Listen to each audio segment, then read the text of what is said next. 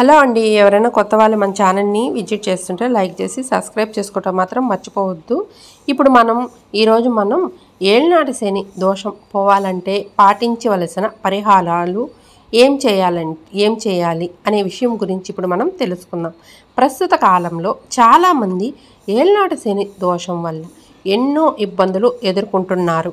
శనిదేవుడు న్యాయానికి కర్మలకు అతిపతి కాక శనిదేవుడే ఎవరి కర్మలను ఏ ఎలాంటి ఫలాలు పొందాలని నిర్ణయిస్తారని చాలామంది భావిస్తారు. ఎవరి జాతకంలో శని స్థానం బలహీనంగా ఉంటుందో వాళ్ళు నిత్య జీవితంలో ఎన్నో ఇబ్బందులను ఎదుర్కొ ఎదుర్కోవాల్సి వస్- ఉంటుంది. శని ప్రభావం ఉన్నవారు కొన్ని పరిహారాలను పాటిస్తే మంచిది. అవి ఏమిటో ఇప్పుడు మనం తెలుసుకుందాం. సూర్యాస్తమయం తర్వాత హనుమంతుడికి ఆరాధిస్తే మంచిది.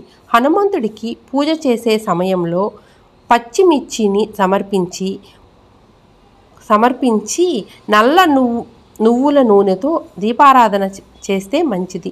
నీలం రంగులో పువ్వులను హనుమంతుడికి సమర్పించటం ద్వారా అనుకూల ఫలితాలు వచ్చే ఛాన్స్ ఉంటుంది. శని యంత్రం స్థాపించి క్రమ పద్ధతిలో పూజించటం ద్వారా కూడా అనుకూల ఫలితాలు వస్తాయి. నీలం లేదా నలుపు రంగు పువ్వులను సమర్పిస్తే శనిదేవుడు సంతోషిస్తాడు. శనివారం రోజున శనగలను ఆవాల నూనెలో వేయించి శనిదేవుడికి నైవేద్యంగా సమర్పించాలి. పావు కిలో పప్పును గేదెలకు పావు కిలో కుష్టు రోగులకు తినిపించి మూడో పావును ఇంటి నుంచి దూరంగా విసిరేయాలి.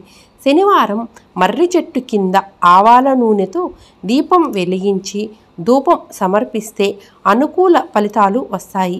శని దోషం పోవాలంటే ఈ చిట్కాలను తప్పనిసరిగా పాటించవలసి ఉంటుంది. ఈ చిట్కాలను పాటించటం ద్వారా ఏల్నాటి శని ప్రభావం ప్రభావానికి దూరం చేసుకోవచ్చు. ఏళ్నాటి శని ప్రభావంతో బాధపడే వాళ్ళు సరైన జాగ్రత్తలు తీసుకోవటం ద్వారా ఆ సమస్యలను దూరం చేసుకోవచ్చు. Thank you for the watching మీరు నా ఛానల్ విజిట్ చేయండి. నా ఛానల్లో మీకు స్టోరీస్ కానీ నచ్చితే లైక్ చేసి షేర్ చేసి సబ్స్క్రైబ్ చేయండి. మన ఛానల్లో మంచి మంచి డివోషనల్ స్టోరీస్ ఫ్యామిలీ స్టోరీస్